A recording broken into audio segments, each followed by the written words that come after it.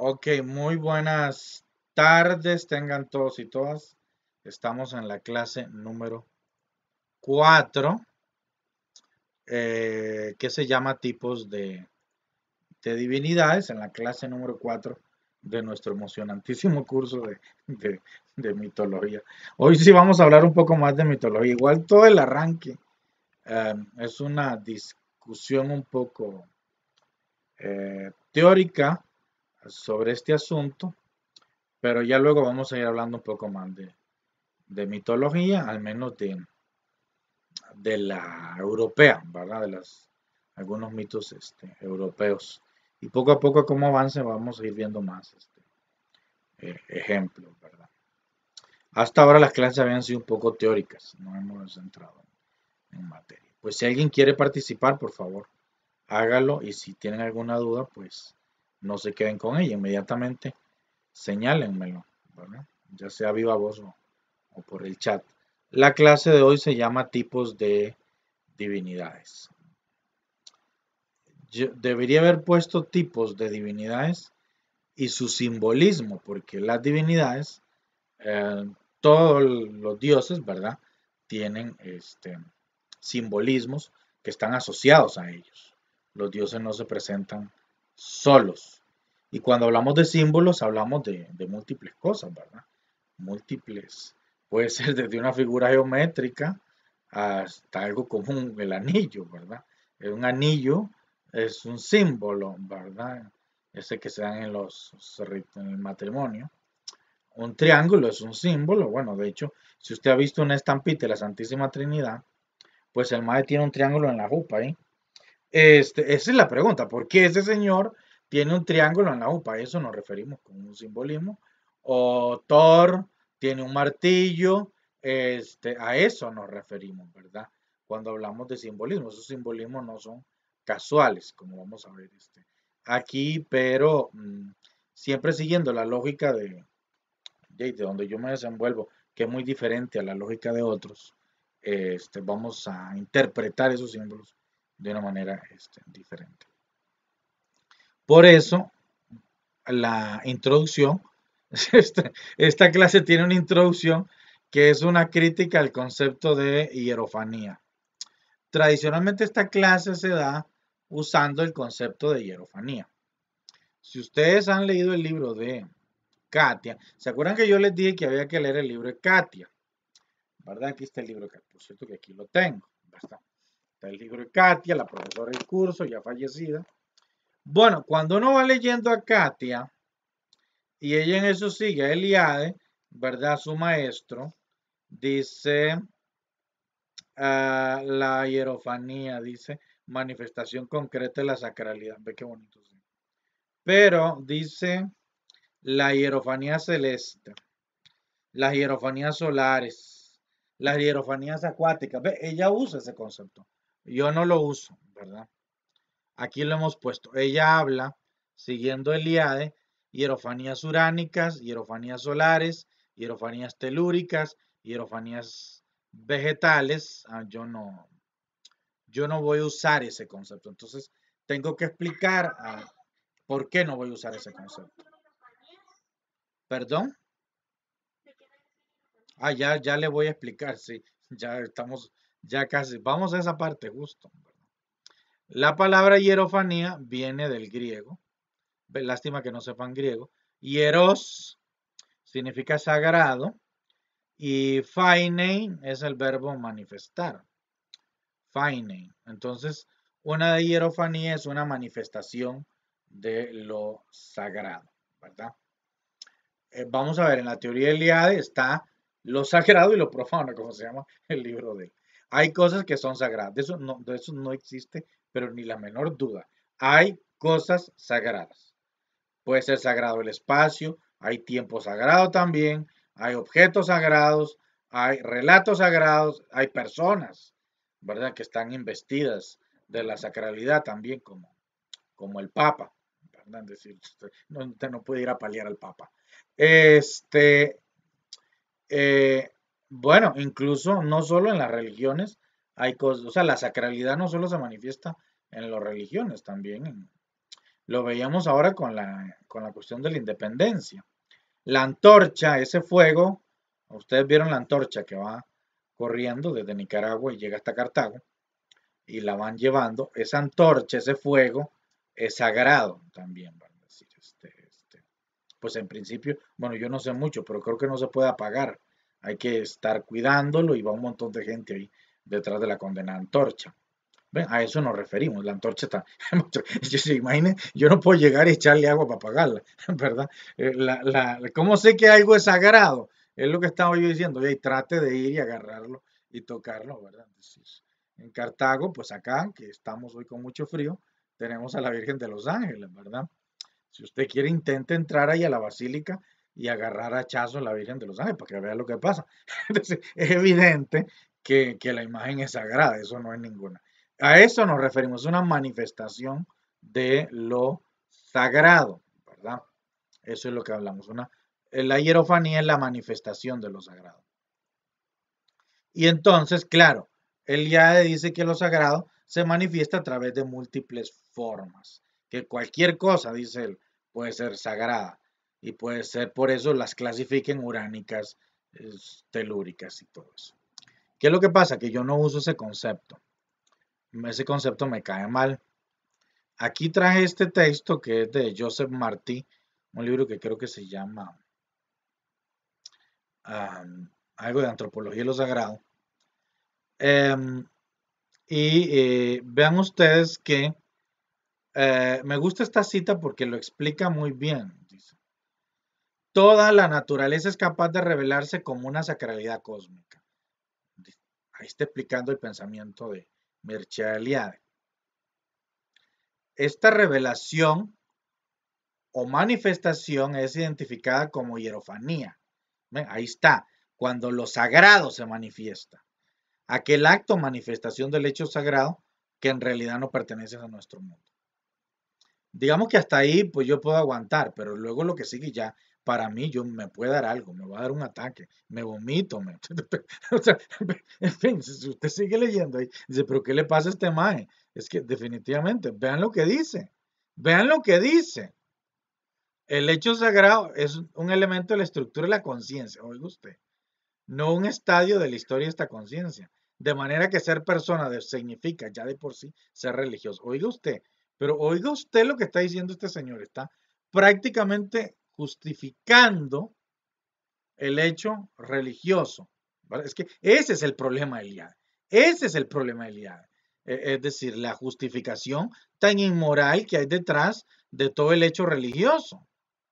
Dice, el IAD entiende el hecho sagrado no solo como un conjunto de estructuras simbólicas propias del fenómeno religioso. Y ahí sí estamos de acuerdo. Si usted me dice, es un conjunto de estructuras simbólicas, sí, es un conjunto histórico. Pero dice, también, en el también, no estamos de acuerdo. También y sobre todo como experiencia psíquica individual.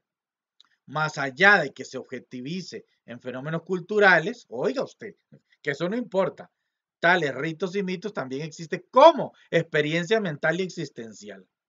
Esta experiencia, el hecho sagrado, induce no solo a determinados sentimientos, sino que, oiga usted, es una manera de ser ya me vomito yo. me va a dar algo. Es decir, entonces, yo jamás, por Dios. O sea, lo sagrado se manifiesta. Una hierofanía. Lo sagrado se manifestó. Esa es, ese, esa impersonalidad que me cae mal del verbo faino, que el verbo faino, de ahí viene fenómeno, por cierto. Fainómenos en griego, y ahí viene fenómeno, lo que se, se, lo que está ahí. O sea, pero es que lo sagrado, volvemos al punto, yo jamás podría aceptar yo que sea una, una manifestación. Y aquí hay una pregunta que es, que subyace de por qué yo rotunda y santamente no puedo, ¿cómo es que se llama? Estar de acuerdo con, con Eliade y es porque algo es sagrado. Esa es la pregunta que deberíamos este, este, este, discutir aquí. Porque algo es sagrado. No es que lo sagrado se manifestó, ¿verdad?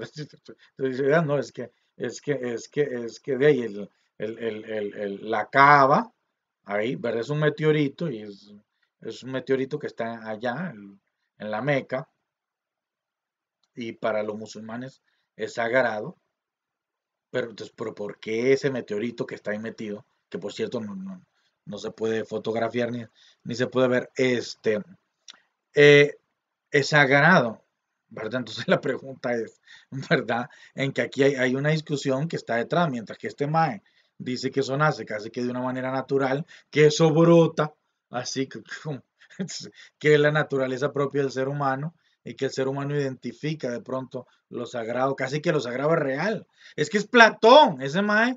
O sea, el problema aquí es, el problema de la hierofanía es que es un concepto casi platónico. Plantea la existencia real de la sacralidad y que hay objetos que realmente participan de eso, de manera natural. Ahora, usted me pregunta a mí, ¿por qué algo es sagrado? Estamos diciendo hay cosas sagradas. Es evidente que hay cosas sagradas.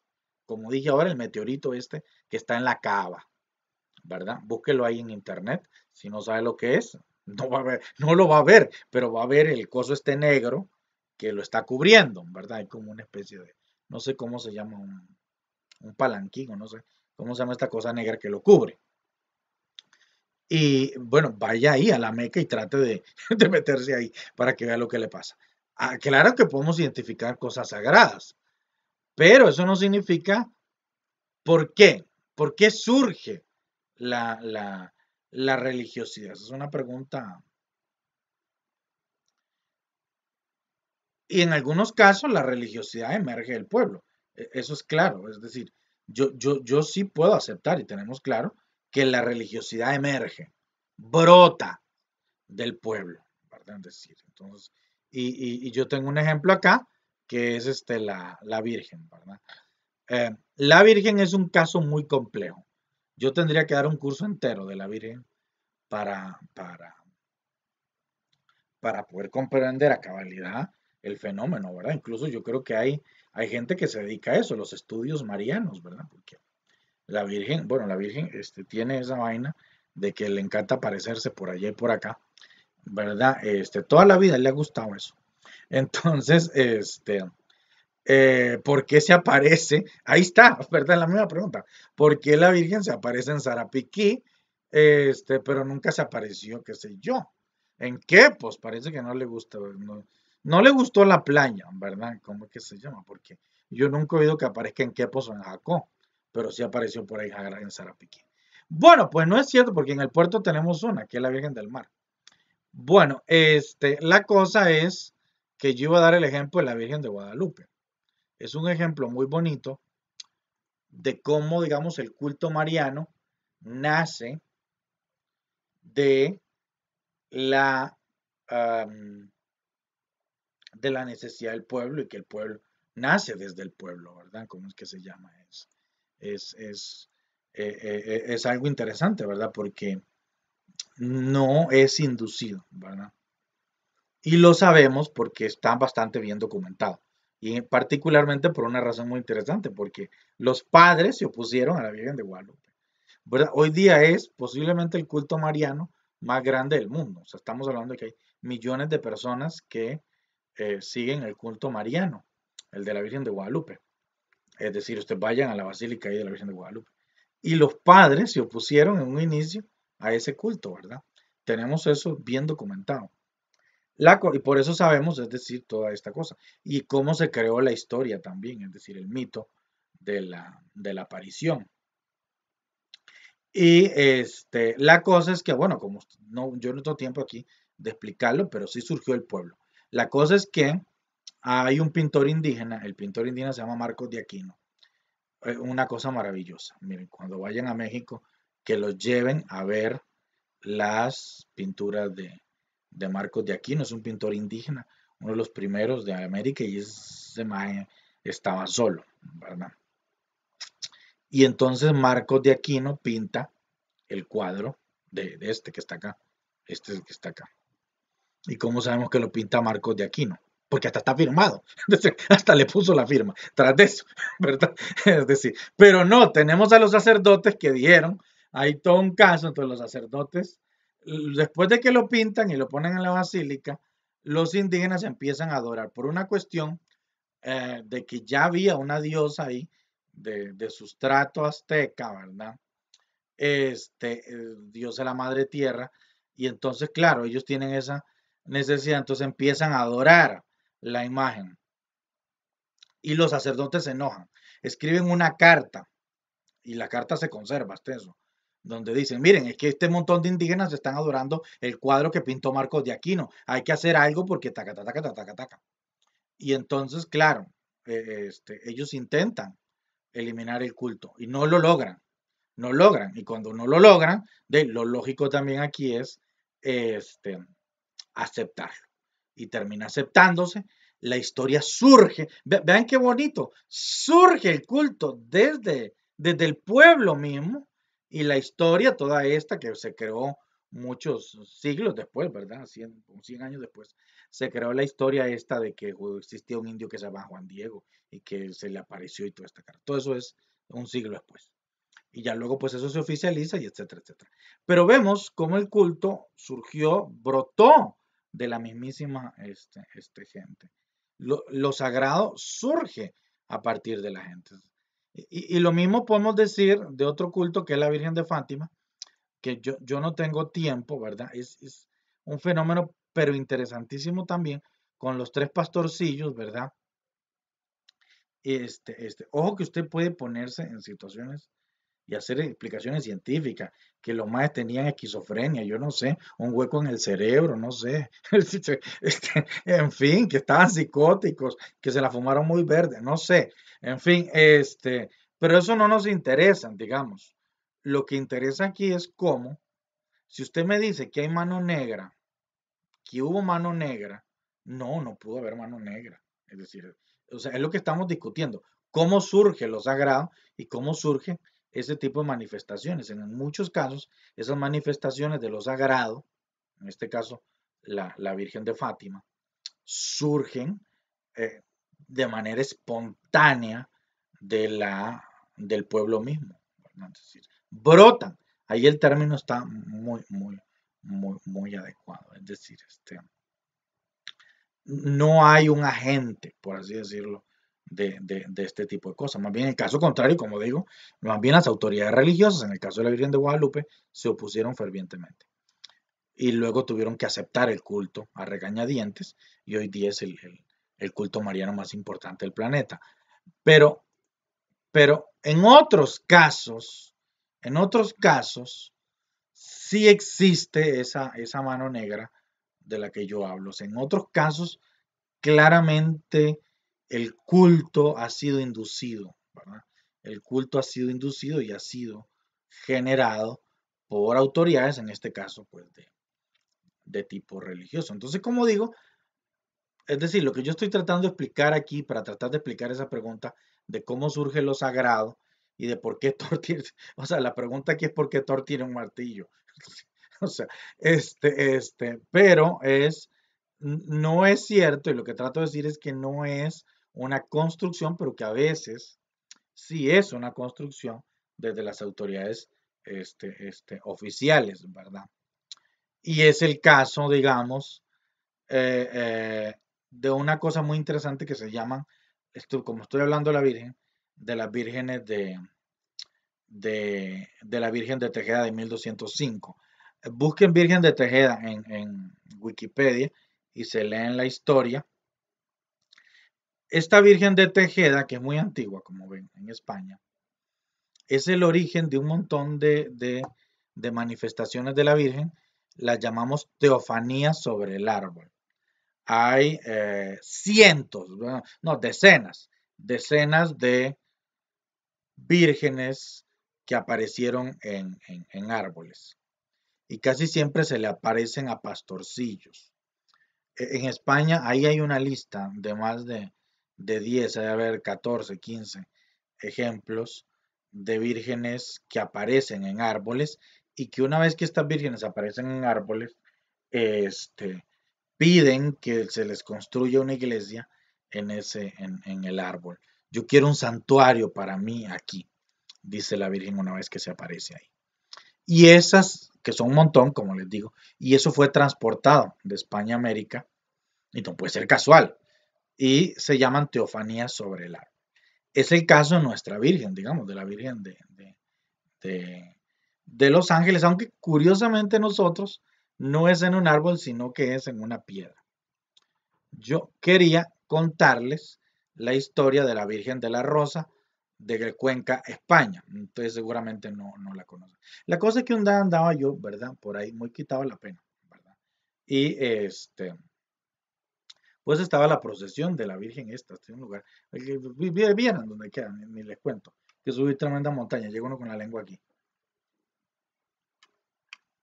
Y le digo yo a la gente, bueno, a ver si me cuentan la historia de la, de la tal Virgen de la Rosa, porque como estaba la procesión y yo andaba por ahí dándome una vuelta por España, dense una vuelta. De Cuenca, España, siempre una ciudad muy bonita, Cuenca. Y este, me la contaron, yo voy a, a leerla. Ah, bueno, que cuando me la contaron, yo me quedé tieso, porque era la historia de nada más y nada menos que de la Virgen de los Ángeles, esta que está aquí. Nada más que la estaba yo escuchando en Cuenca, España. Y yo decía, esto no puede ser, esto no puede ser cierto, por el amor de Dios. Y claro, ¿verdad? Es porque es parte de estas teofanías eh, eh, que se manifiestan en el árbol. Voy a leerla rápidamente para que ustedes vean. Esta es la historia de la Virgen de la Rosa. Dice, cuenta la tradición que hace muchísimos años eh, un humilde pastor, siempre es un humilde pastor, vecino de Valtalblado, llamado Ruperto, regresa de un viaje por tierras andaluzas, tras meses de transhumancia. A la, a la derecha, el camino real que enlaza la Alcarria con Molina de Aragón y en un sitio llamado El Rosal, algo entre Rosales llamó su atención. El pastor cauto se acercó y descubrió al pie de los rosales una hermosa imagen de madera de la Santísima Virgen. Lleno de alegría ante el descubrimiento, cogió la imagen y con cuidado la guardó en sus alforjas. De inmediato reanudó la marcha hasta su casa pensando en lo contenta que se iba a poner su mujer cuando la viera la talla. Al llegar a su casa no halló la Virgen, donde la había dejado. Creyendo que la había perdido, la imagen por el camino volvió sobre sus pasos hasta el rosal y allí estaba. Ruperto, contrariado ante lo sucedido, cogió de nuevo la imagen, la envolvió en una manta, la metió en las alforjas y la aseguró bien para no perderla. Llegando a Valtablado, el pastor inquieto quiso comprobar si su valioso hallazgo había desaparecido realmente la primera vez y que no había sido un descuido de él. Al desliar la manta se encontró con que la imagen no estaba.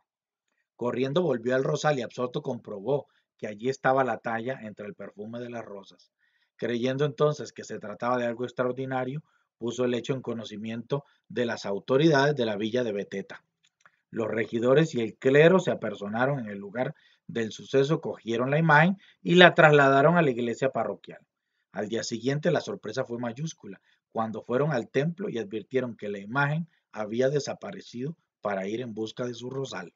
En vista de lo ocurrido, se acordó por unanimidad erigir una ermita en dicho sitio, creyendo que de esta manera querían cumplir los deseos de la Santísima Virgen, que desde ese entonces tomó el nombre de Virgen de la Rosa. Hoy es el lugar donde María apareció, es objeto de veneración y de peregrinación por miles de hombres y mujeres que van en busca de Dios y pidiendo la ayuda de la Virgen de la Rosa. Es la Virgen de la Rosa, Cuenca, España, en una villidez. Eh, la villa de Beteta está por acá, pero la ermita está como, como en una montaña sola. Eh, cuando yo, este, yo andaba por ahí y oí la historia esta, ¿será que yo soy bruto? Yo no sé si ustedes se dan cuenta, pero esa es la historia de la Virgen de los Ángeles, ¿o no? ¿Ah? ¿Será que yo estoy mintiendo? Es la historia de la Virgen de los Ángeles, por el amor de Dios. Es decir, usted me dice, ¿qué puede haber pasado, profe? Que lo único que pudo haber pasado es que la historia se trasplantó desde Cuenca, España, hasta Cartago en la época colonial. ¿Cómo diablos? Tenemos que averiguarlo, ¿verdad? pero más o menos, digamos, podemos este, rastrear eso.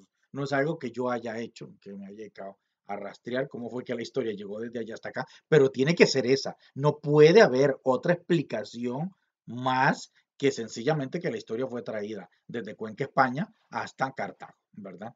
Y repetida, ¿verdad? Y ahí sí hay mano negra. Por supuesto que ahí sí hubo, ¿cómo es que se llama? Mano negra, porque la historia no llegó solita, ¿verdad? Tampoco las historias no, no, no, no, no llegan por arte de magia. Y entonces nos damos cuenta que esa, esa discusión que estamos teniendo ahora, que por eso a veces lo sagrado también es construcción. No es cierto que lo sagrado se manifieste, sino que lo sagrado a veces también existe por, por em, mano negra de fulano, de mengano o, de prensa, que se agencia, que agencia la, la construcción de, de, lo sagrado, ¿verdad? De, de, X cosa. Y bueno, por eso es mejor hablar de simbolismo. Por eso es que a mí no me gusta hablar del concepto de hierofanía, porque de alguna manera el concepto de hierofanía eh, deja por fuera esa agentividad de la que les estoy yo diciendo. Deja por fuera que existe gente, que existen personas. Es decir, cuando usted habla de hierofanía, dice, lo sagrado se manifestó. La manifestación de lo sagrado. No, pero está usted olvidando que existen personas reales y de carne y hueso que están involucradas en los procesos religiosos. ¿Cómo vamos a hablar de la religión como una cosa abstracta? O sea, por Dios, o sea, no podemos hablar de, de, la religión, ni de los dioses, ni de las divinidades, como una cosa abstracta, ignorando que existen personas que creen en esa religión. Es decir, me, parece que nada que ver. Y entonces, claro, por eso yo prefiero rescatar la otra parte, en la que me parece que ahí sí coincidimos con él, ¿eh? que existe una articulación simbólica, que lo religioso, y en este caso particular las divinidades y las historias, que son lo que particularmente no, nos interesa aquí, no nacen de puro gusto, sino que se articulan, se ordenan a partir de una lógica, de un entendimiento particular que podemos llamar un entendimiento de carácter este, simbólico, ¿verdad? El martillo de Thor, porque Thor tiene un martillo. Debemos ser capaces de explicar eso, porque el Padre en la Santísima Trinidad tiene un triángulo en la UPA. Tenemos que ser capaces de explicar eso, de por qué hay un triángulo ahí, ¿verdad? Es decir, o por qué el Espíritu Santo es una paloma. No, no, tenemos que poder hacerlo. No puede ser que no podamos. Y la manera, entonces, ahí sí estamos avanzando en el estudio de, eh, eh, de, de, lo religioso y en general y de la mitología, que es el caso particular este nuestro. Dicho todo esto, que es una introducción muy grande, ahora sí voy a hablar de los tipos de, de divinidades, que yo creo que me voy. Pero aquí hay dos observaciones. Observación número uno. Entonces que ya parezco al más que que daba los, los, ¿cómo es que se llama? Los monólogos. Porque aquí como nadie pregunta, ni nadie comenta, esto es un monólogo. Sería más útil que comentaran y preguntaran. Uno, bueno, resulta que Katia, como dije, Katia habla de los hierofanías uránicas celestes, de eso vamos a hablar. La cosa es que mucho de esto se articula a partir de la mitología de las religiones europeas. Cuando esta clasificación se crea, se crea para mitologías propias de las religiones europeas em, y más específicamente del Mediterráneo. Por eso es que a veces no voy a hablar tanto de lo indígena, voy a dejar lo indígena para las otras clases. Porque cuando yo le aplico eso, eso, a, las, a lo indígena, entonces resulta que se dan errores, se dan errores garrafales, este, este, este, porque no aplica, ¿verdad? No aplica. O sea, es que es totalmente, tiene todo el sentido del mundo, porque la lógica de las religiones mediterráneas va a servir para entender la lógica de las religiones, qué sé yo, de los pueblos indígenas de Costa Rica. Eso no tiene nada que ver. ¿Habrá cosas universales? Mm, en general, por supuesto que sí hay cosas que son universales y que, de verdad, eh, con, con las salvedades del caso. Pero el simbolismo específico no, el simbolismo específico está anudado a la cultura del pueblo que lo produce rotunda y santamente. Y lo otro, la segunda observación, es que muchos simbolismos se mezclan y un Dios puede presentar varios simbolismos. Eso, eso es muy importante. Un Dios puede presentar varios de estos simbolismos. Entonces, a pesar de que yo los voy a tratar por separado, muchas veces en realidad hay, hay, hay varios, ¿verdad? Eh, Entonces, no, no, ¿verdad? Eh, hay figuras que, sí, perdón, dígame. Dígame.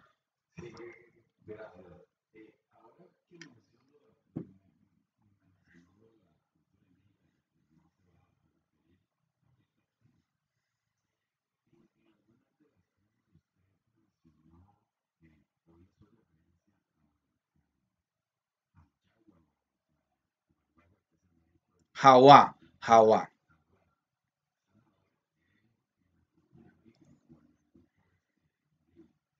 Sí.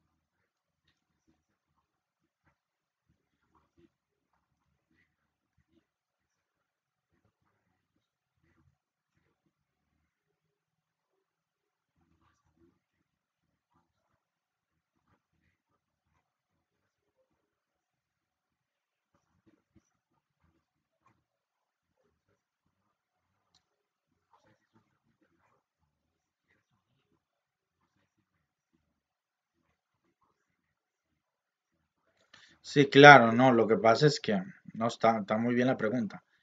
Eh, eh, no tiene nada que ver con esto, pero no importa.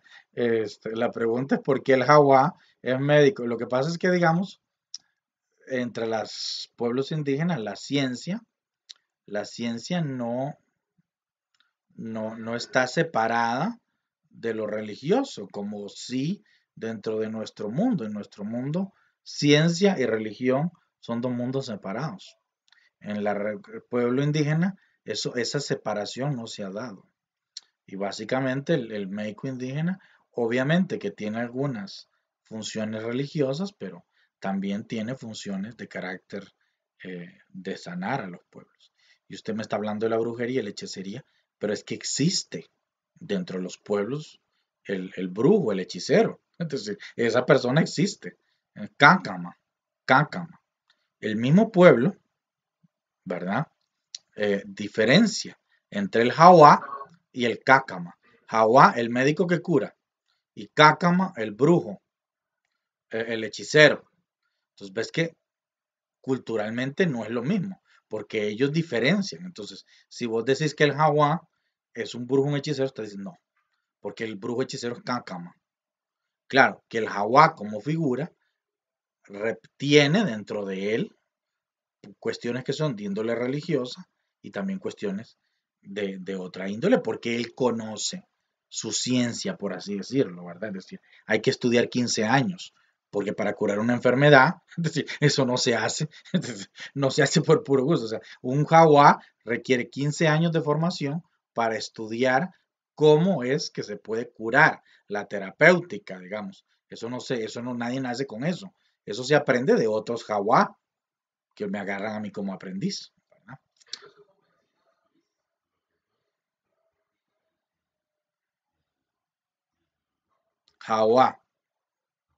Sí, más por ahí, más o menos.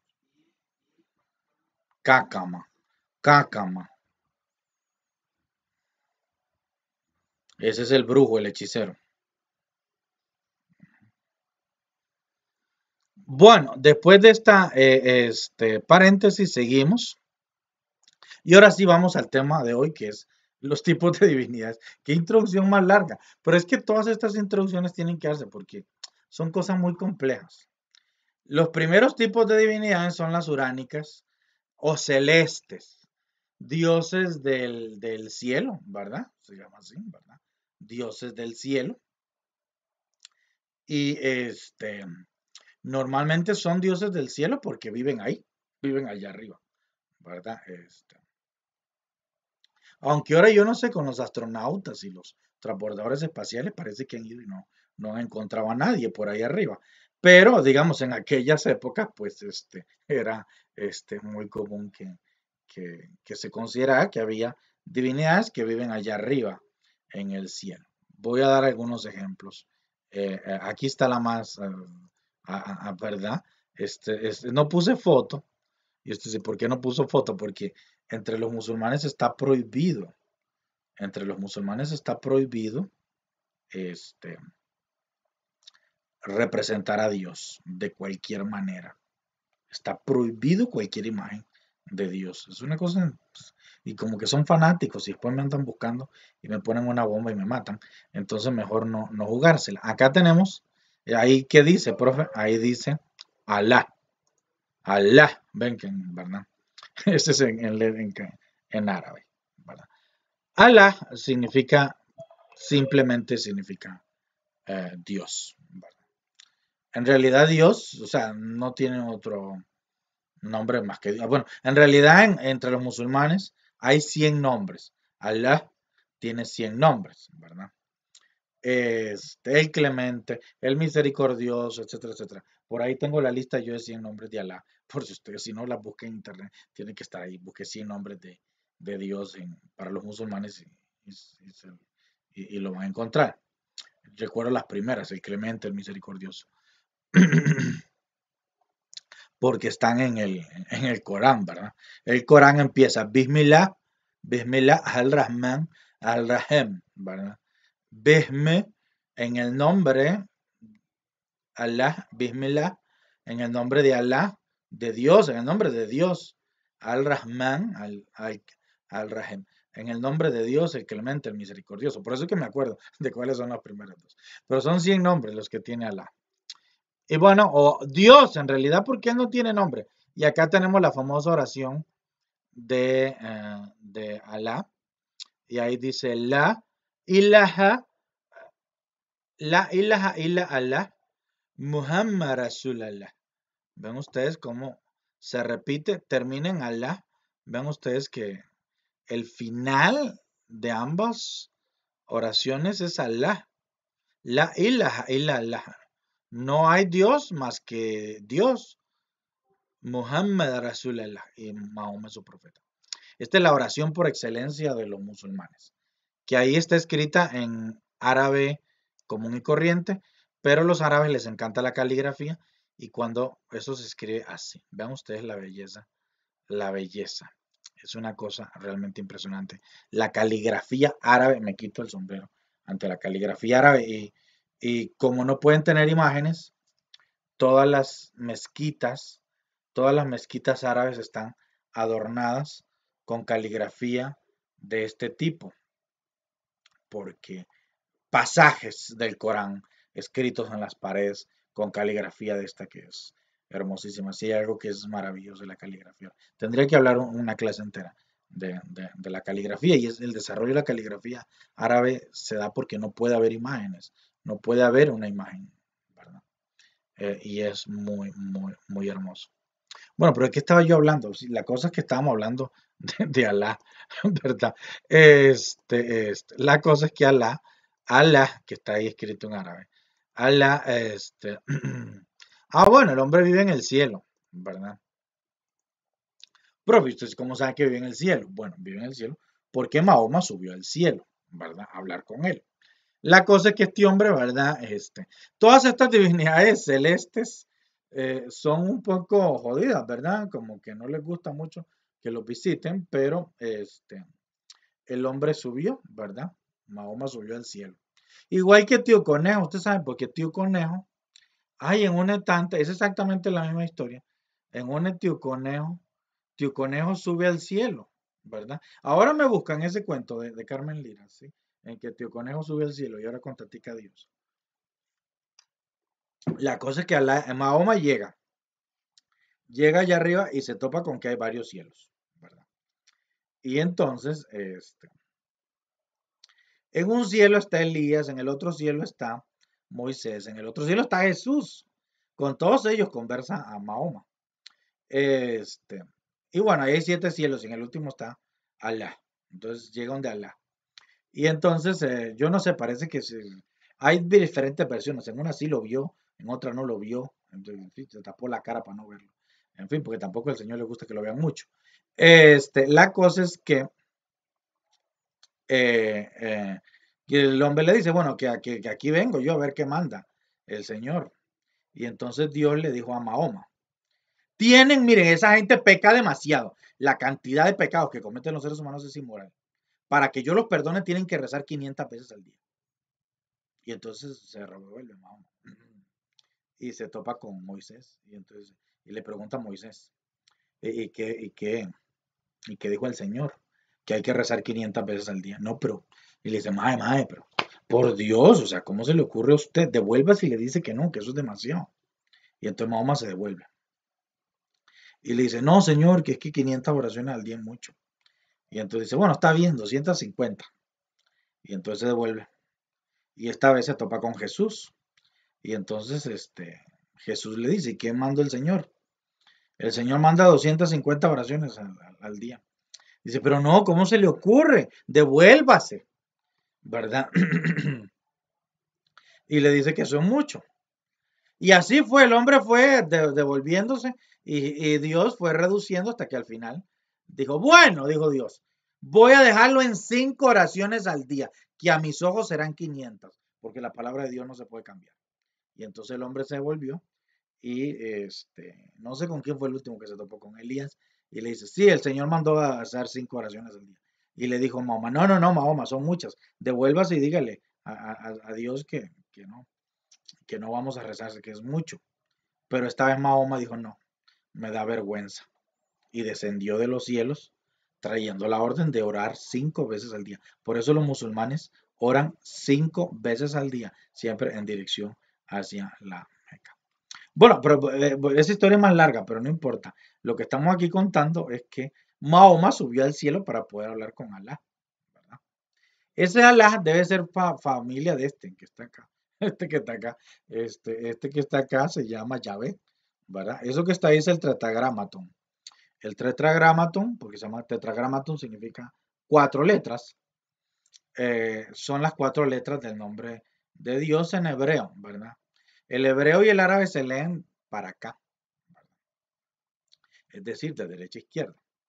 No se leen como nosotros. Y esa, esa, esa cosita que parece como una comita, no sé. es la yot, la y, luego la het, la h, la wow y otra vez la het, ¿verdad? Y, H, W, H. Ese es, el tetragramaton, ¿verdad? Y, H, W, H. El nombre de Dios en hebreo que no sabemos a ciencia cierta este, em, cómo se pronunciaba, eh, pero que sospechamos con muchísima muy buena idea de que se decía Yahweh, Yahweh. ¿verdad? Y este, Yahvé, ¿verdad? Como suelen decir ahora. Este, ahora es muy probable que fuera esa la, pronunciación.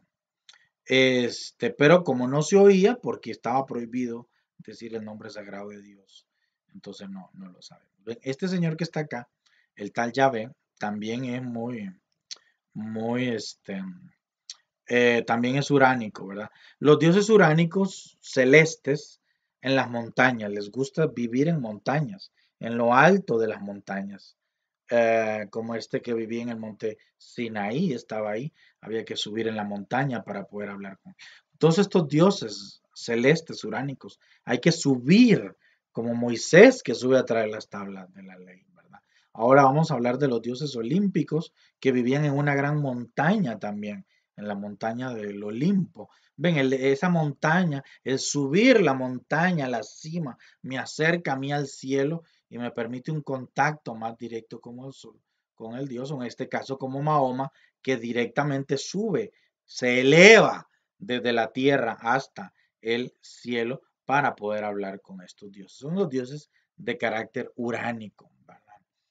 Otro dios de carácter uránico es el famoso Padre. Aquí no se ve, pero aquí lo voy a poner, ¿verdad? Ahí está. Ese que está ahí es el Padre nuestro en el Evangelio, tal y como está en el Evangelio. Y dice claramente, ¿será que yo soy bruto? Ahí sí no hay más duda. No hay más duda. Dice, Pater Gemón, Joentois Uranois, Ayaceto Tono Masu, el Ceto que Basileia Su, Geneceto To Celemazu, Su. Este, en fin, este, podemos ver, es el Padre Nuestro. Pero vean, Pater Gemón, Padre de nosotros. Pater Gemón. Joentois Uranois. Joentois Uranois. Que es en, que en el cielo. Literalmente no, no está el verbo ser porque en esos casos no se pone el verbo ser, se presupone en griego. ¿Qué en el cielo? En, los cielos, perdón, porque son varios cielos, como dije ahora con lo de Mahoma. Jo, entonces uranois, en los cielos. Padre nuestro que estás en los cielos, ¿sí? ¿verdad? Ahí está claro, absolutamente claro, que eh, efectivamente em, hablamos de dioses celestes, dioses uránicos, dioses que están en el cielo. Uranos en griego es cielo, por eso hablamos de dioses uránicos. Estos dioses uránicos suelen ser los dioses creadores del universo. Normalmente es así, los gran, el dios, un dios creador del universo, agentivo, que provoca, ¿verdad? Aunque normalmente también son más muy, que, que se representan como viejitos, ¿verdad? Normalmente con barba blanca, eh, eh, eh la imagen típica de muy sabios, muy eternos, antiquísimos, ¿verdad? Son dioses, ¿verdad? Y justamente por eso muchas veces también son deus otiosos. Deus otiosos, que es un concepto muy interesante, que, que, que un deus otioso es un dios creador del universo, pero que él luego se va y dice, bueno, ya yo hice el universo, me voy.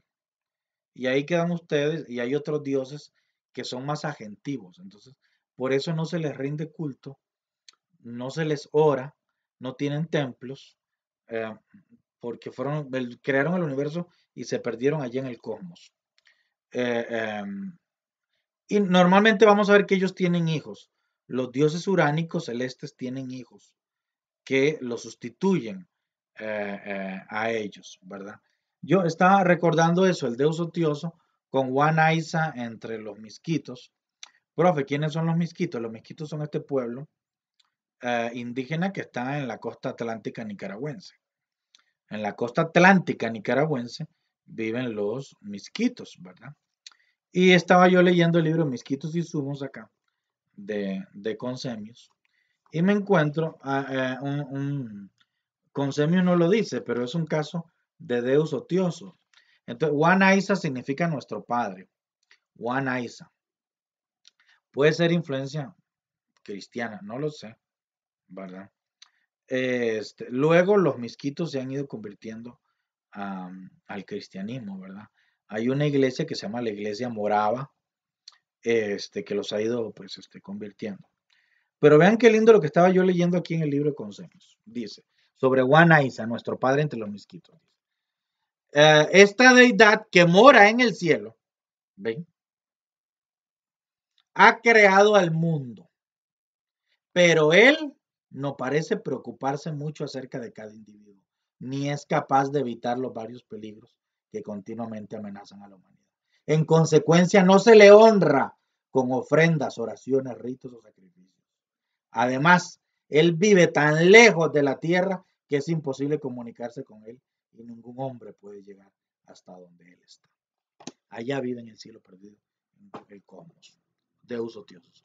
Muy, en muchísimas culturas, eso, en, la Polinesia vas a encontrar eso, lo vas a encontrar en las estepas de Asia, lo vas a encontrar en África. El Deus otiosos, ese Dios celeste, todopoderoso que creó el mundo y luego se marchó. Pero tienen hijos. La gran ventaja, digamos, es que estos dioses suelen tener hijos y los hijos sí se mueven, ¿verdad? Los hijos de los dioses uránicos suelen moverse, suelen ser más agentivos, suelen ser más que de acción, suelen ser los más de la acción, es decir, a los que a esos hay que rezarles, porque esos sí son, ¿verdad? ¿Cuáles son los hijos de los dioses celestes? Suelen ser dioses solares, los dioses del rayo, dioses de las tormentas, ¿verdad?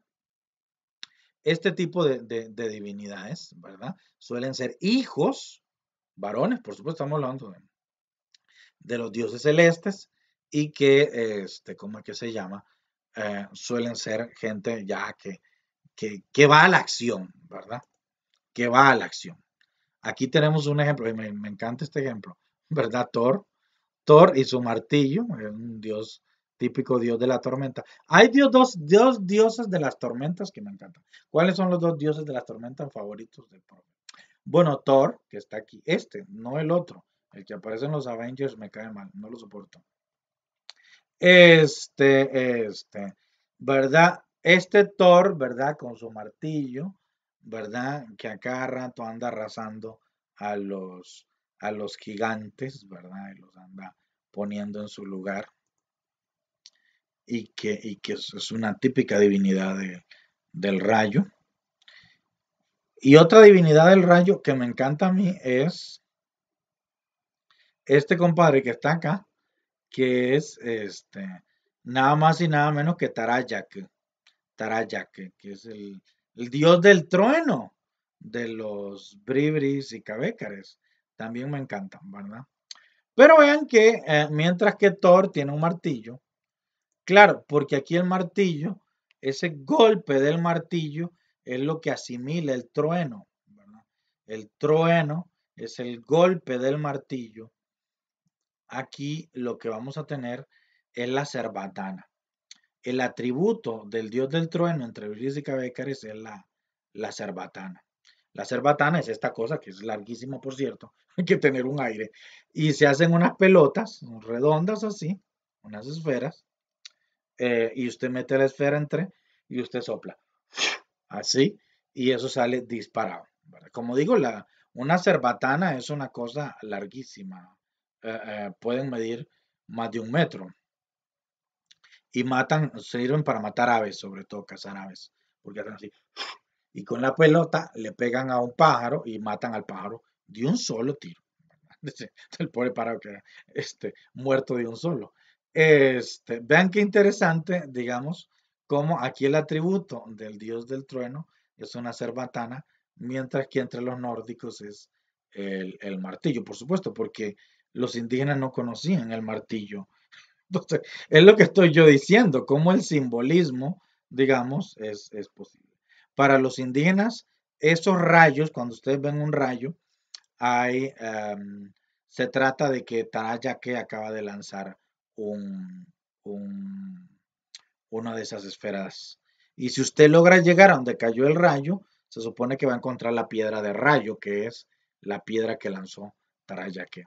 Yo como nunca he encontrado, ¿verdad? Nunca he podido ir a donde ha caído un rayo, este, para ver si de verdad está ahí la piedra de rayo que cayó con, con, eso, ¿verdad? Bueno, cuentan nuestros pueblos indígenas. Son también dioses fecundadores, ¿verdad? Los dioses, las divinidades uránicas son dioses fecundadores, eh, como Zeus y el Espíritu Santo, la famosa paloma.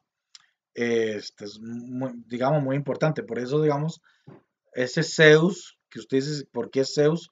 Anda como desesperado eh, eh, detrás de todas las mujeres y dioses y había así por haber. En realidad por ese papel fecundador que, tiene Zeus, ¿verdad? Zeus es el dios fecundador, por lo tanto tiene que ejercer su, papel. Puede parecer para nosotros una cuestión muy promiscua, pero no, tiene esa función dentro, digamos, de, los pueblos y Verbigracia, el otro, el del Espíritu Santo. Este, gobiernan el tiempo. Otro atributo muy importante de los dioses eh, de este tipo es que normalmente son los dioses del tiempo aunque este atributo a veces lo heredan sus hijos, los dioses solares, ¿verdad? Dioses de simbolismo solar, pero bueno, ahí tenemos, recuerdo que tenemos a Cronos en la, en la mitología griega, ¿verdad? Y como dije, a partir de los dioses uránicos surgen las divinidades de carácter solar. Y tenemos que poner una que es, ¿verdad? Por supuesto, la divinidad solar por excelencia, que es este Ra. ¿Verdad? Ahí está, vemos a Ra, el famoso este, eh, dios egipcio, que se reconoce por esa bola, ¿verdad? Que tiene en la jupa. Este, este. Y a veces, digamos, muchas veces lo que van a encontrar es un círculo. Cuando ustedes entre los jeroglíficos vean un círculo, ese Ra, ¿verdad? Ese Ra. Bueno, bueno el sol, ¿verdad? El sol tiene esa capacidad de que se nace todos los días, se oculta, entonces nace y muere. La muerte, el renacimiento, eh, pasa por el inframundo. Por eso entre los dioses egipcios, la barca, decían que tenía una barca, navegaba en una barca. Para los griegos, más bien era un carruaje tirado por caballos. El sol tenía un carruaje tirado por caballos, pero entre los egipcios era una barca. Y esa barca navega por debajo, por el inframundo, por el mundo de las tinieblas. Por eso también muchas veces estas divinidades son divinidades que tienen que ver con lo mortuorio eh, y, con, y con... son psicopompos que se llama también porque transportan a las almas al otro mundo. Eh, eh, eh, tienen que ver mucho, mucho con eso, ¿verdad? Y mi divinidad solar, esto dice, ¿cuál es la divinidad solar? No es la favorita mía, pero es la favorita de mi mamá. Entonces la puse aquí. Porque, ¿cómo no vamos a poner la divinidad solar favorita de mi mamá? Entonces dije yo, tenemos que ponerla, que por supuesto este, este, Jesucristo. Jesucristo es, es solar, es de simbolismo solar, ¿verdad? Y comparte bueno, es hijo de un dios uránico, del padre, tiene todas las características, es mucho más agentivo que su padre. Y el padre es como, ¿verdad? Es un hombre más tirado por allá, ¿verdad? Y es más agentivo, ¿verdad?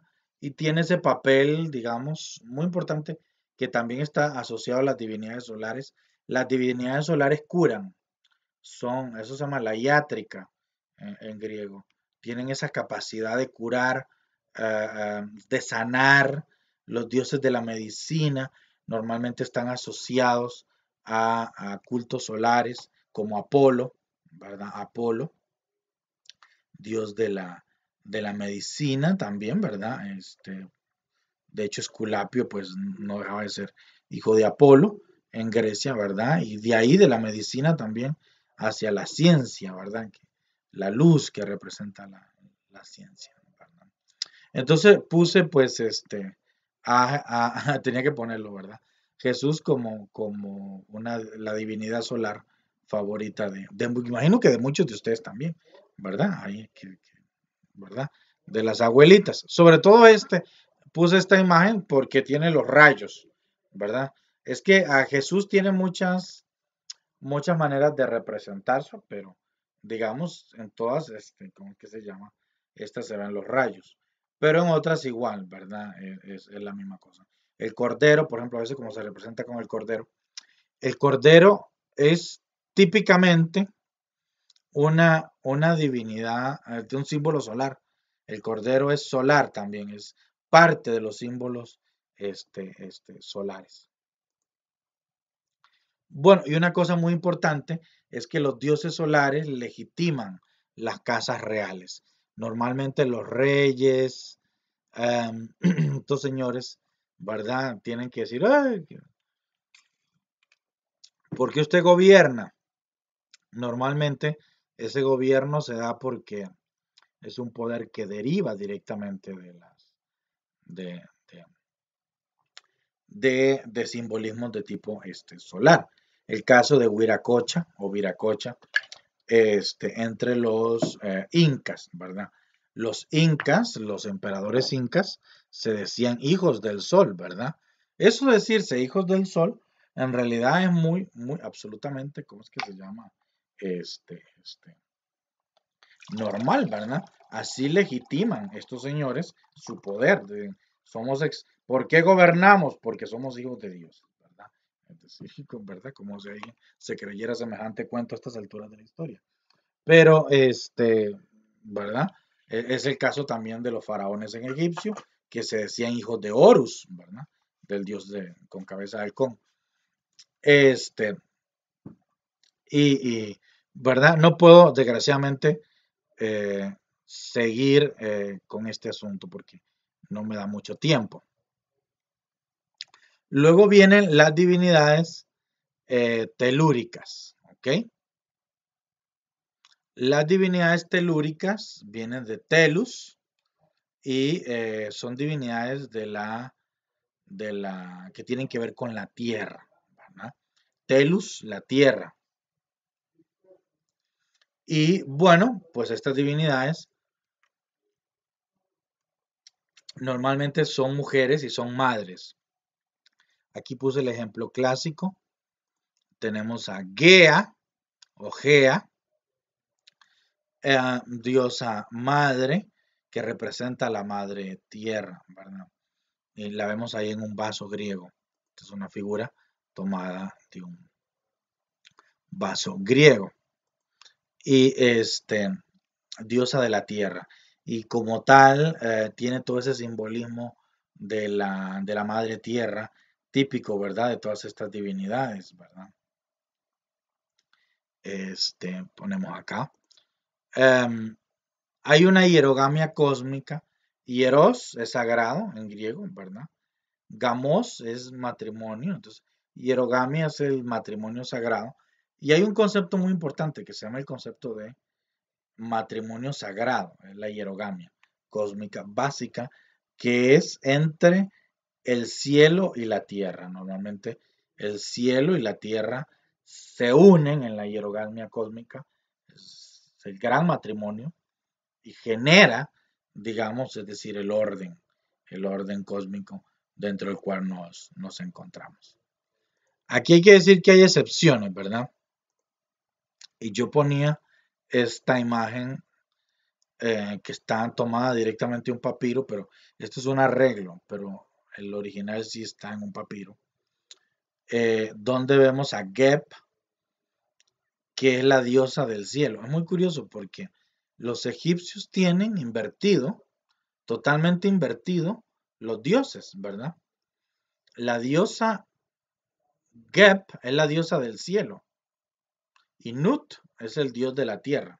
Entonces vean que, como decía yo ahora, ojo, hay sus, sus diferencias, ¿verdad? Hay sus, no todo es, es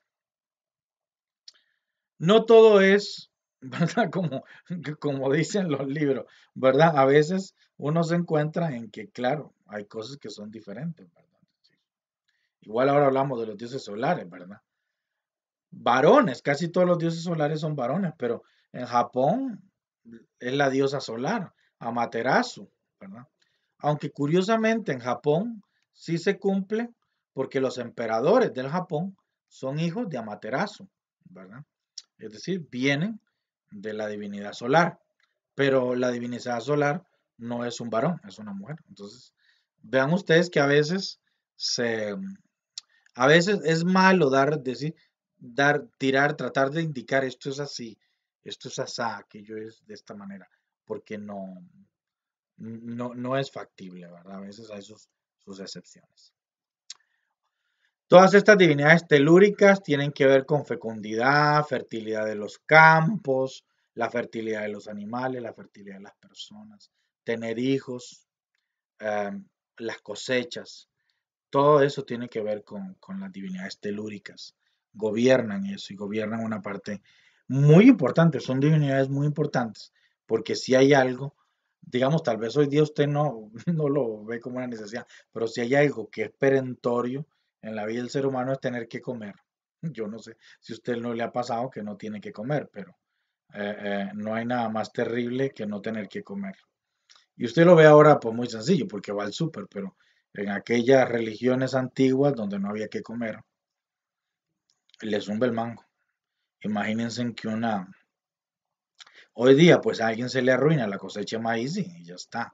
Se le arruinó la cosecha de maíz. Pero, pero en, en la edad antigua se le arruinaba la cosecha y era hambre. El que se arruinara la cosecha significaba hambre. Imagínense la importancia, porque es el alimento, ¿verdad? Que, nos da. Entonces, eh, la supervivencia son las diosas madres de la tierra, son las que nos permiten sobrevivir a los seres humanos, son muy importantes, ¿verdad? Por eso ese arraigo tan grande, ¿verdad? Es decir, hacia ellas. Y, seguramente mucha gente dice que de ahí viene también el arraigo al culto mariano, que como digo es muy, complicado. Pero mucha gente dice, en realidad el arraigo al culto mariano tiene que ver con la herencia de, las divinidades telúricas, ¿verdad? Que son las que le dan sustento al ser humano. Y, que, es, importante, ¿verdad? Aquí tenemos alguna, Afrodita, esta que está acá es Afrodita, es diosa del amor, la sexualidad, todo lo que tiene que ver con la sexualidad, la reproducción, lo gobiernan diosas telúricas, en este caso Afrodita, muy importante porque volvemos la, la continuidad del ser humano, ¿verdad? Es decir, el simbolismo de la sexualidad es importantísimo porque si las mujeres no quedan embarazadas y no y no no se ponen a parir, pues entonces no hay continuidad de la especie, ¿verdad? Y no hay continuidad del grupo humano particularmente. Entonces era algo que era importantísimo, digamos. Volvemos a, la lógica un poco antigua, ¿verdad? Sobre todo cuando se morían tantos hijos, ¿verdad? Hoy día, pues, se tienen pocos hijos porque, porque no hay problema. Normalmente sobreviven, pero en aquellas épocas en que morían, la mortalidad infantil era asquerosa, ¿verdad? En aquellas épocas. Entonces, claro, era importantísimo que la mujer tuviera muchos hijos, muchos embarazos, para ver de ese montón cuántos lograban sobrevivir y llegar este, a, viejos, ¿verdad? Hoy día tal vez no tenemos esa lógica en la cabeza, ¿verdad? Demeter, ve, aquí tenemos a Demeter, la que rige los cereales, la producción del cereal, el trigo. Que es muy, muy importante. Muy importante el el trigo con el que se hace el pan, la comida fundamental, digamos. En, el Mediterráneo europeo hay dos alimentos que son fundamentales. Uno de ellos es el pan, que se hace con base en el trigo, y el otro es el vino, que se hace con, con uva, Y no es de extrañar que dos de las divinidades más importantes de los griegos, una hacia el trigo, la otra hacia el vino. Demeter, ¿verdad? La diosa que rige el trigo, los cereales. Y acá tenemos a Dionisio, dios del vino, ¿verdad? Este, y, vean que en la misa, en la misa está el pan y el vino. Eh, eh, es decir, que no andamos tan perdidos, ¿verdad? Efectivamente, de esa herencia y de esos simbolismos mediterráneos, esos simbolismos mediterráneos están, ¿cómo es que se llama? Presentes de una u otra este, este, manera. Entonces tenemos el pan y el vino en la, en la misa. Y algo muy importante, la Telus Mater, que es una divinidad este, romana, ahí tenemos. Con un poquito de color. Es que ahora el, el mural, el mural no, no se ve en blanco. Pero algo que hemos tratado en los últimos tiempos es de recordar que esos murales blancos, esas estatuas blancas que ustedes ven, eso es pura mentira.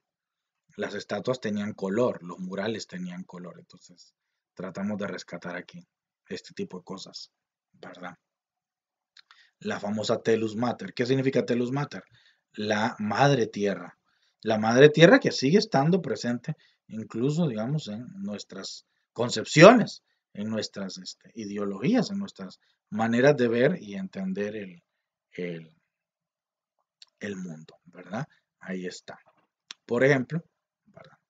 O una de las cosas muy curiosas, ¿verdad? Es que, digamos, hay gente que tiene unas cosas tan metidas en la jupa, ¿verdad? Entonces, por ejemplo, ellos creen que los indígenas tienen, entonces, y la diosa madre entre los indígenas. Entonces y dice, ¿cómo se dice la diosa madre entre los indígenas? Los indígenas de Costa Rica no tienen una diosa madre de la tierra. no hay. Entonces, y hasta han llegado a inventar fórmulas y palabras. Mine y o ¿verdad? Ese tipo de cosas que son inventos, pero la diosa madre no es indígena. La diosa madre de la tierra no es indígena. ¿De dónde sacan estupideces de esas? Es romana. Es romana. Es la telum mater, por el amor de Dios. Miren cómo cuesta y cómo me ha costado a mí hacerle entender a la gente este tipo de, de, cosas, ¿verdad? Es decir, pero, pero yo creo que esa es otra discusión que podemos tomar en algún otro momento.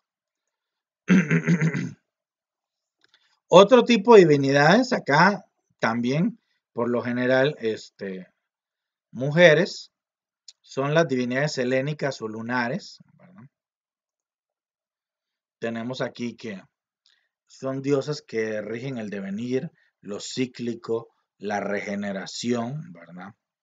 Los cambios, porque la luna, la luna cambia. Saben que hay luna llena, luna menguante, luna nueva.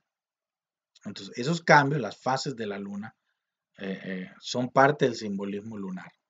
Acá tenemos en Grecia una de ellas, Selene.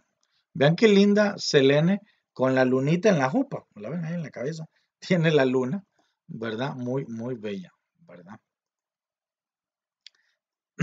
y que este tipo de cultos, ¿verdad? De, la luna, que eran cultos que, digamos, no lo puse aquí, pero que también estaban mucho en la religión celta y que luego van a dar origen a todo lo de la cuestión de las brujas, ¿verdad?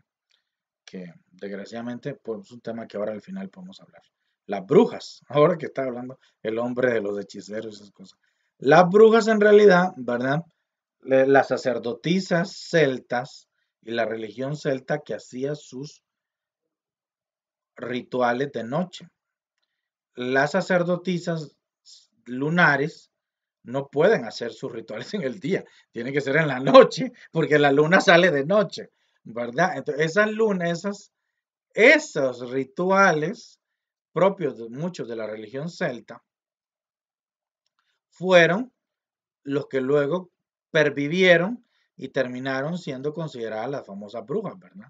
Todavía hoy existe una religión, la religión wicana, la wicca y todas esas vainas, es decir, que tiene esos cultos tan, tan, tan cercanos a, la luna, ¿verdad? Y son mujeres que están muy, muy cercanas a la, a la luna, ¿verdad? Eh, no sé si ustedes han oído hablar, si no pueden, pues, este, investigar un poco. Y aquí tenemos, ah, y yo decía, para poner una azteca, Coyol Shuascui, ¿verdad? Coyol Shuascui. A ver cómo va. Coyol, coyol es cascabel. De ahí viene coyol, yo creo, la palabra coyol, que es el, la vaina esta, ¿verdad? Porque coyol es cascabel. Este. Suaski, ¿verdad? Eh, creo que es revestida, no sé. Em, ¿Verdad? Y es esta diosa lunar, ¿verdad? Coyol, La cosa aquí es que esta diosa es muy importante. Cuando vayan a México, visiten por favor el Templo Mayor de México y van a encontrar el altar con esta diosa. Precioso el altar con esta diosa. La cosa es que, que eh, esta, esta era hija de Ixchel, ¿verdad? y va a ser hermana de Huitzilopochtli. La cosa es que ella eh, ya era grande, ¿verdad? Y la mamá quedó embarazada. Esta mujer, que representa la luna, cuando su madre queda embarazada, del que va a ser Huitzilopochtli, la cosa es que se enoja porque dice, qué barbaridad, ¿cómo es que nuestra mamá quedó embarazada y de quién sabe quién. Y entonces, ¿verdad? Decide atacarla, pero en eso, ¿verdad? Va a ser despeñada, la despeñan y al caer se despedaza, está descuartizada. La ven que ella está completamente descuartizada, ¿verdad? Descuartizada. Un tema bonito. Pueden buscar ahí la historia en, en internet. Bueno, seguimos con nuestro recuento. También están las divinidades acuáticas, divinidades acuáticas que como su nombre lo indica tienen que ver con el agua. El agua simboliza la vida, ¿verdad? Está presente en el bautismo, por ejemplo. Pues, la renovación, el, regenerarse, el regenerarse, digamos, el famoso, eh, todo lo que tiene que ver con la fuente de la juventud. Bueno, la fuente de la eterna juventud. ¿Por qué es una fuente? Tiene que ser una fuente de la eterna juventud, porque tiene que tener agua. El agua siempre va a simbolizar el regenerarse, el volver a la vida, ¿verdad? Es decir, tal y como está en el, en el bautismo. Sumergirse en aguas es volver a, a nacer, ¿verdad? De alguna u otra manera. Lo que pasa es que, digamos, aquí hay dos tipos de aguas, ¿verdad? No es lo mismo las aguas de los ríos que las aguas del mar.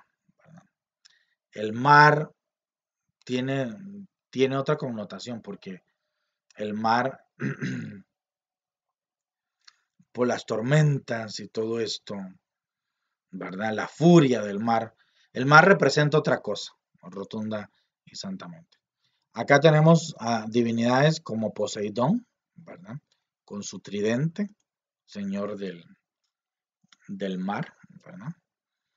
Y que, ¿verdad? Este, este tendría que hablar montones aquí de, de, Poseidón y de cómo ha evolucionado. Otra cosa que es un tema es cómo ha evolucionado él desde Grecia hasta nosotros. No es lo mismo Poseidón en Grecia que Poseidón en la, en la actualidad, ¿verdad? Es decir, cuando me hablo de Poseidón, qué sé yo, en Piratas del Caribe, este, el tridente, este, es otra cosa, ¿verdad? Pero bueno, este, Dios básicamente del mar, pero que, como digo, furioso, ¿verdad? De hecho, el que, hace temblar la tierra, decían los griegos, ¿verdad? Con, razón. El que mueve la, la tierra, ¿verdad? Precisamente. Porque, como digo, muchos de estos dioses marinos son primordiales, algunos son monstruosos, los dioses marinos tienen que ver mucho con la monstruosidad también. Em, son dioses muy primordiales, ¿verdad? De, este tipo de, cosas. Las sirenas. Y puse dos imágenes de las sirenas.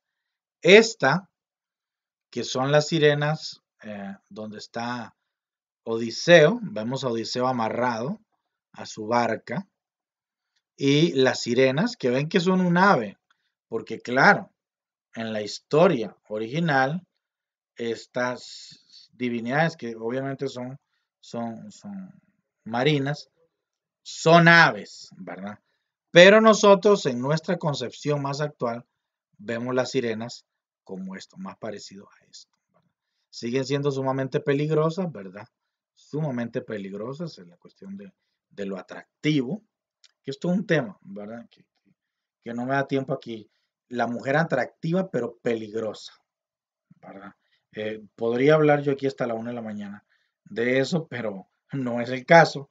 Pero que la sirena, nuestra configuración actual, esto que estamos viendo acá, se asemeja más hacia esa idea de, de esta mujer atractiva pero, pero peligrosa, ¿verdad? Y ya claro, con la cola de pescado, pues, ¿verdad?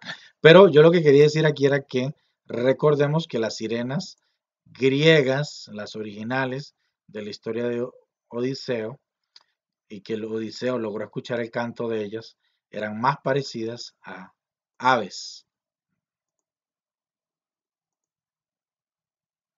Luego vienen las divinidades tónicas. Eh, Tónico tiene que ver con lo que está debajo de la tierra. Aquí está la tierra. Todo lo que está debajo son divinidades de carácter tónico. ¿Ok? Divinidades que, ¿cómo es que se llama? Que están en el subsuelo, si se me permite esta expresión. Muy importantes porque tanto antes como ahora, eh, para los griegos todas las almas de los muertos iban hacia abajo. Eso, que las almas vayan al cielo, eso es mm, reciente, eso es nuevo. En, las, en, la, en la antigüedad, en las religiones antiguas, en Mesopotamia, en Grecia, ¿verdad? Las almas descienden al inframundo. Y por supuesto que aquí habría que poner a, Hades. Este que está aquí es Hades. Veanlo qué lindo, a mí me encanta. Ahí está con el perro, con, con Cerbero. ¿Lo ven ahí? El perro de tres cabezas que cuida la entrada del inframundo. Yo siempre he querido tener un perro de tres cabezas, pero de ahí no se puede. ¿Cómo será esa vaina tener un perro de tres cabezas?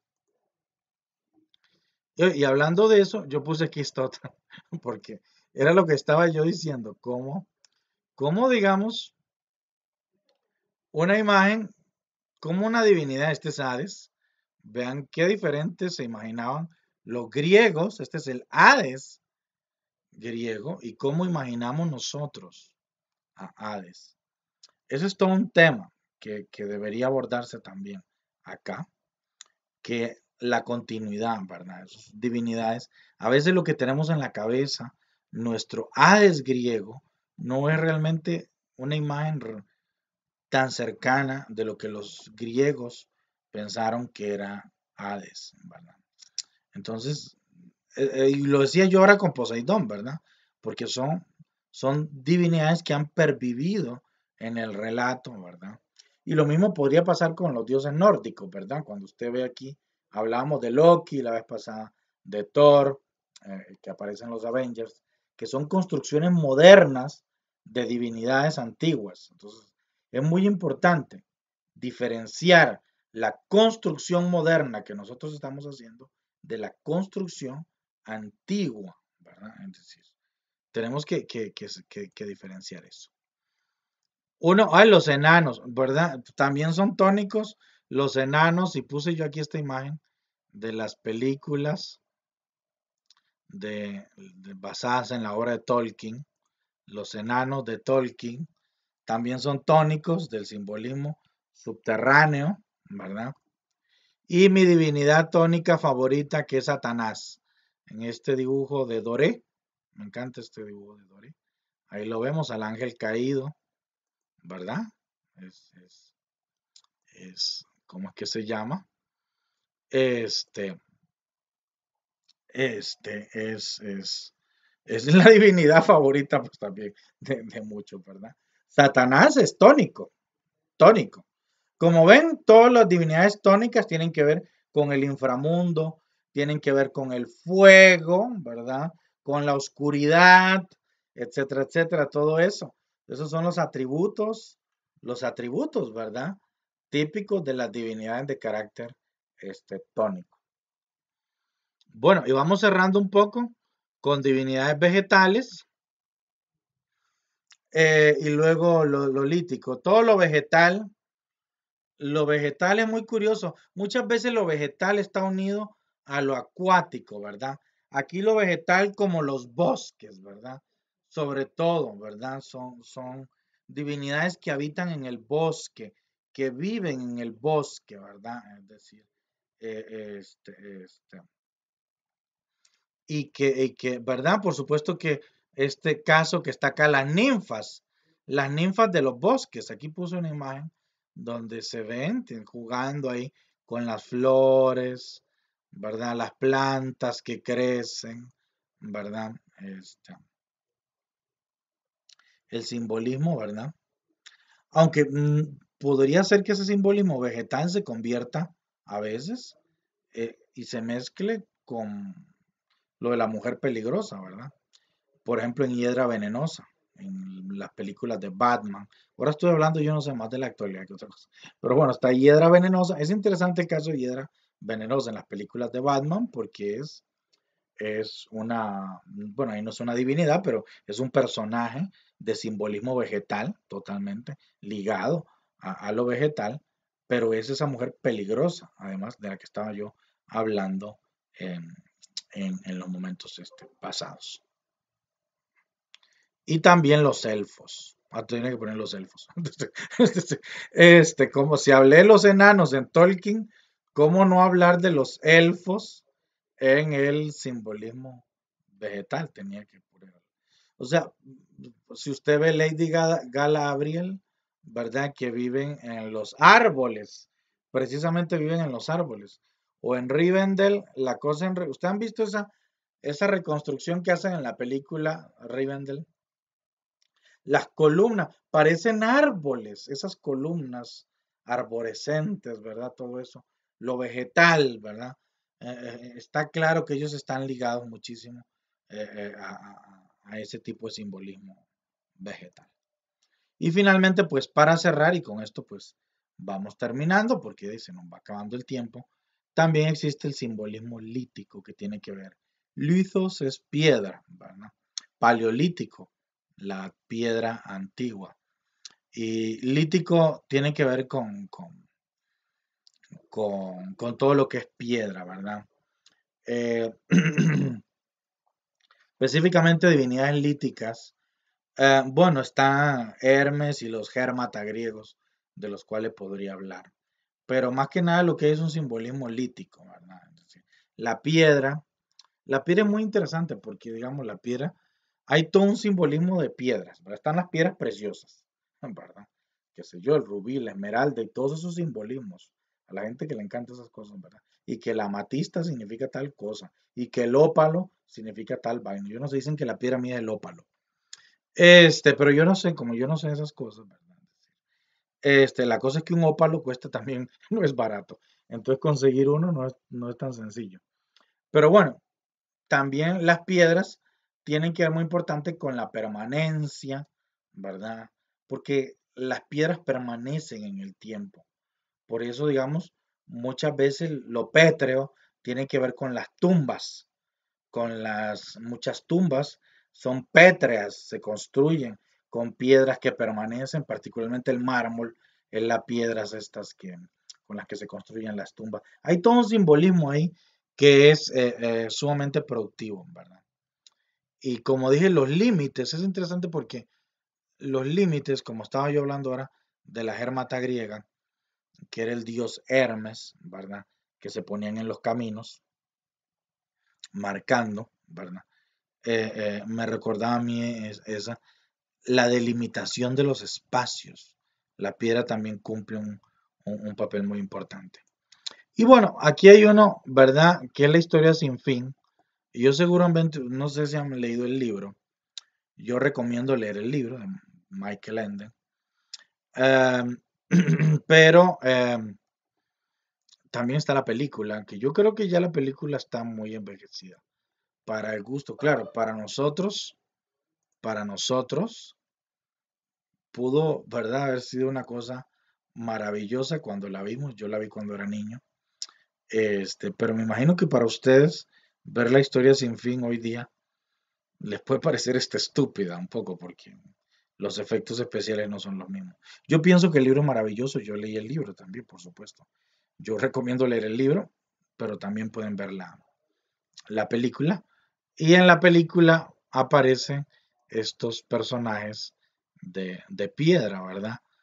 Que nos recuerdan precisamente el simbolismo lítico, ¿verdad? Bueno, y así hemos visto, ¿verdad? ¿Cómo es que se llama? Todos los tipos de, de simbolismos y de divinidades, ¿verdad?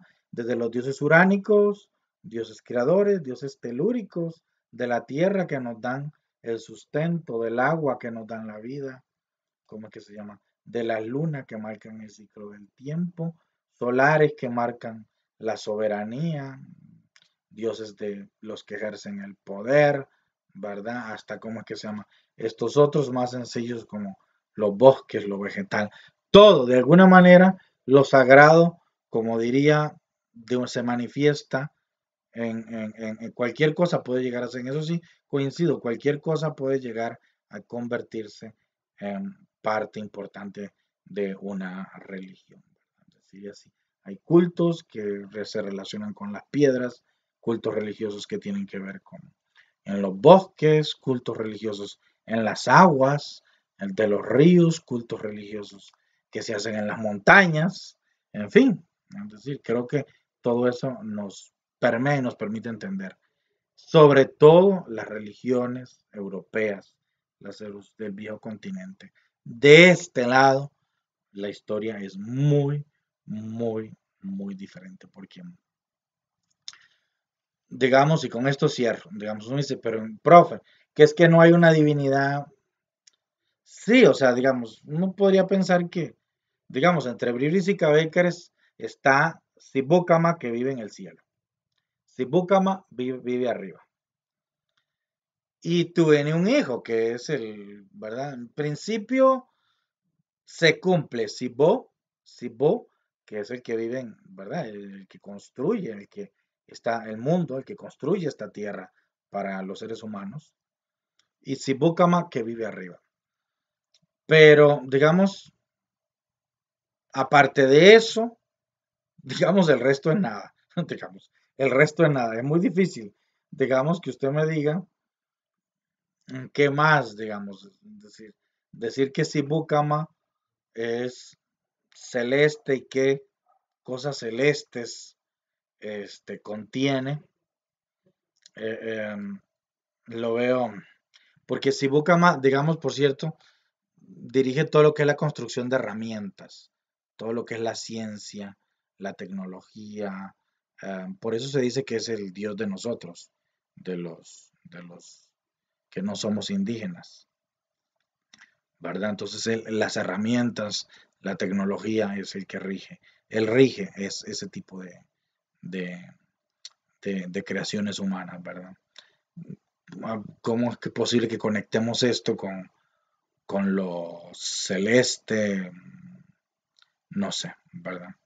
En fin, a veces es que, es que yo lo que no quiero es forzar. El problema es creer que una cosa es universal y empezar a forzarla. O la luna, por supuesto que existe la luna, pero la luna es una abuela, es la abuela luna dentro de las historias de los indígenas. Pero ya vamos a tener tiempo de conversar sobre, sobre estas cosas, ¿verdad? Es decir, mientras que vemos que Selene en Grecia es una mujer joven, es una muchacha. Normalmente la luna se asocia con esa frescura, ¿verdad? De, de la juventud. Pero no lo sé, por ahí va un poco la cosa. Bueno, preguntas, comentarios, acotaciones, quejas, reclamos.